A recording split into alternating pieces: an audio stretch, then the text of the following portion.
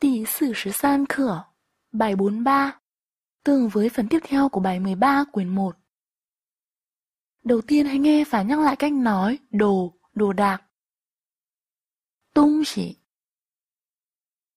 Tung Tung chỉ chỉ Tung chỉ Tung chỉ Âm Hán Việt là Đông Tây. Đồ gì, thứ gì? 什么东西？什么东西？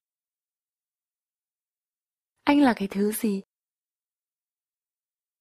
你是什么东西？你是什么东西？Đây là đồ gì? 这是什么东西？ 这是什么东西？